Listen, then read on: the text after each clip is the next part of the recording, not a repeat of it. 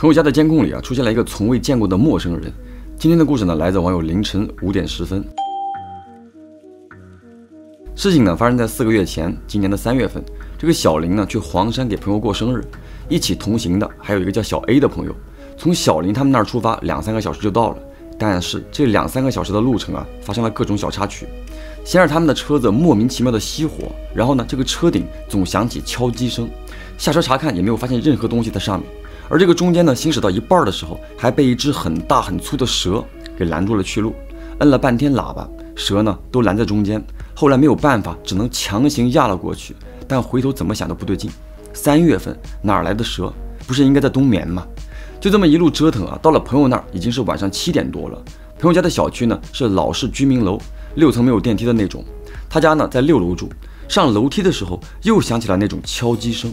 那两个人呢就停下了脚步，寻找声音的来源。可他们一停，敲击声也跟着停了。但只要一开始走，那个声音又会在身边响起。找呢又找不到来源。好了，终于到了朋友家里，这种奇怪的声音呢消停了。那当天晚上吃吃喝喝，一直玩到了十一点多。这个小林呢突然间想上厕所了，而这个朋友家里只有一个厕所，当时里面呢就还有人。可这个小林呢实在憋不住了啊，就问朋友哪还有厕所。那个朋友呢想了一下，说小区底下外边一点呢有那种集装箱式的公厕，说陪小林一起去。结果正准备下楼，朋友的男友呢吐了，朋友呢就只好先照顾男友。小林一看，其他人呢也是趴下的趴下，呕吐的呕吐，只好牙一咬，自己下去了。在楼道的时候啊，又响起了那种分不清来源的敲击声。但人有三急，那个时候呢，已经管不了那么多了，一路飞奔到楼下，终于找到了厕所。三个集装箱就等于三间厕所，但灯呢都是坏的。小林就选择了最左边的一间，啊，是唯一一个有窗户的，还有些亮光呢，可以洒进去。蹲下去之后，小林就开始刷视频。这个时候又听到那个敲击声来了，而且这个声音呢离小林是越来越近。于是呢，他把手机给熄屏了，全神贯注地听这个声音。突然，声音没了。与此同时，小林忽然感觉到有一股特别强烈的目光在看着自己，下意识的就把这个手机电筒啊打开，转到了那个小窗户上面。接下来的一幕啊，终身难忘。一个老奶奶在窗口盯着小林。白花花的头发扎着两个小辫子，满脸的褶子。小林呢就惊叫了一声，屁股都没敢擦啊，来不及了，跑了出去。从来都没有跑得那么快。冲上楼之后，朋友呢给留着门。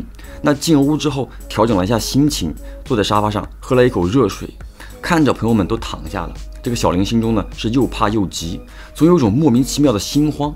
于是呢就叫醒了已经喝懵的小 A，让他跟自己回酒店休息。他们当时呢订的酒店就在朋友家附近。那当晚呢，小林没有喝酒，是可以开车的。那小 A 醒了之后也没有挣扎，就跟着这个小林一起下楼了。结果两个人走到二楼的时候，小 A 突然从后面推了小林一把，小林整个人摔下了台阶，很不可置信的回头看着小 A，并且呢一顿阻拦问候啊。而小 A 呢则是背对着小林，说前面有一个老奶奶，你挡着别人路了，你看不见吗？你瞎。一脸懵逼的小林环视四周，哪有什么老奶奶？而小 A 的语气是非常阴沉的，根本不像他平时说话的风格。再者，小 A 喝的烂醉，下来的时候呢还摇摇晃晃的，而那会儿呢就站得笔直笔直的，背对着小林。好，从地上爬起来之后，小林正准备继续开骂，而此时这个小 A 是头也不回的往楼上走了。小林呢就愣了啊，待在原地，一脸懵逼。也就几十秒的样子啊，朋友和另外一个人。就过生日的朋友啊，跟另外一个朋友呢，就扶着小 A 下来了。那看见小林，朋友还愣了一下，说：“你走了，你怎么不带小 A 走啊？”小林当时眼睛瞪得老大了，说：“我刚把他拉下来，他突然发火，把我推下去，他自己上楼了。你们不是在半路看见他的吗？”朋友一听，一脸的震惊，说：“哪有呀，小林，你你你没喝酒，你怎么晕了？小 A 一直躺在沙发上，根本没有挪过地方，就看见你一个人走了。”小林当时压根儿不信啊，正在气头上，于是呢想找这个小 A 问个清楚，为什么推自己？上去呢就给了他两个大逼兜。可这个小 A 呢跟死猪一样，根本弄不醒，就扇他都没有反应的那种，和之前笔直笔直的样子压根儿就像两个人。朋友一看这个小林当时气得都浑身发抖，就说了：“小林，你不信的话，咱上楼看监控。我门口的书架上呢有一个监控，可以看到整个客厅。”然而几个人上楼之后一看监控，小林彻底慌了。监控当中可以看到，小 A 的确是一直躺在沙发上一动不动的，反倒是小林不知道在角落里啊跟谁讲话，然后手一拉，把一个只有背影戴着帽子的人拉走了。这个小林呢就不可置信地看着朋友，就指着监控中的帽子男问这个人是谁。朋友也呆住了，因为他压根儿不认识这个人。当天晚上，所有过去给他过生日的都是他的好朋友，每一个人他都熟到不能再熟。如果是自己的朋友，看背影绝对认得出来。再者，当天晚上根本没有朋友是戴帽子过去的。当天晚上出席的人呢，一共是十一个人。那看完监控，在现场他们又数了一遍，也确实是十一个。那么那个被小林拉着出门的帽子男是从哪儿来的？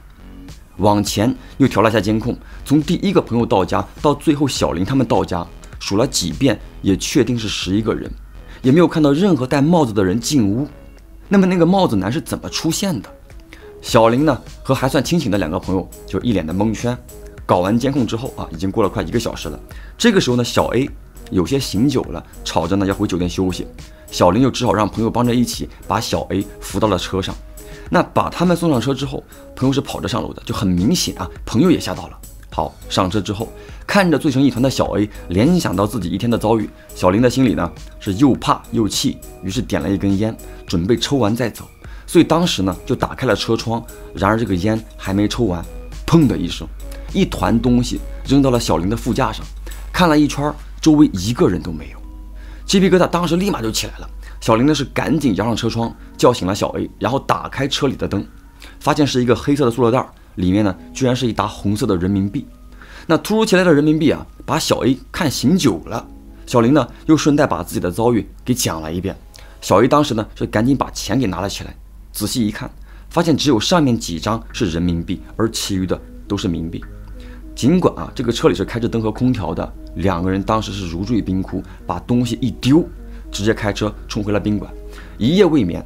第二天早上呢，是硬撑着开车回到了自己家里。可是打那儿以后，小林是天天梦魇，在投稿的前几天开始吐血。七月十五号，他投稿的当天还在等化验结果，而小 A 呢就已经很长时间不联系他了，朋友圈呢也都删了，小林发的消息也好，电话也好，都是不接不回，也不知道小 A 怎么样了。而小林心中最大的困惑，那天那个自己拉着下楼的帽子男到底是谁，跟自己的遭遇有没有什么联系？如果小林看到这条视频，可以在评论区分享一下后续。好了，我是老飘，我们下个故事见。